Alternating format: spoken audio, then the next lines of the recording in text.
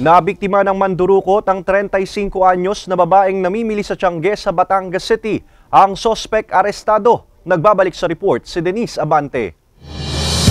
Diretso kulungan ang 48 anyos na babaeng ito matapos dukutin ang isang cellphone na nagkakahalaga ng 10,000 piso na pagmamayari ng 35 anyos na babaeng residente ng Barangay 21 Poblacion, Batangas City habang namimili umano sa Tiangge sa lungsod kahapon. Sa investigasyon ng pulisya may kasama pa umano ang suspect at posibleng minanmanan ang biktima bago dukutin ang cellphone nito. Posible na nakita nung suspect na yung ating biktima ay naglagay ng cellphone sa kanyang bag matapos niya itong gamitin. So, yung opportunity na yon ay kaagad ginrab nitong ating suspect. Personal na dumulog ang biktima sa himpilan ng pulisya para i-report ang nangyari. Namukhaan daw niya ang suspect na kaagad namang nahuli ng pulisya. Napag-alaman ng otoridad na hindi residente sa lungsod ang suspect na dumayo lang sa lugar.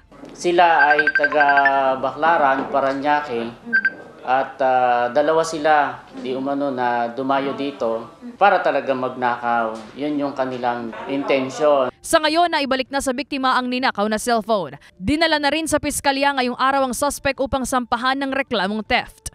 Mag-ingat tayo, maging vigilant tayo sa ating mga gamit, sa ating kapalagiran. Tama yung ginawa ng ating biktima na hindi siya nag-react nung time na yon dahil inisip niya yung kanyang kaligtasan at huwag mag-atubili na kagad lumapit sa Batangas City Police Station May panawagan naman ng pulisya sa posibleng iba pang naging biktima ng mga suspect. Kung mayroon pang mga ah, nabiktima nitong tao na ito, ay mangyari lamang po na magpunta po dito sa police station para po ah, dagdag po na masampahan din po natin siya ng kaso. Kasama si J. Arman Hares, Denise Abante, Balitang Southern, Tagalog.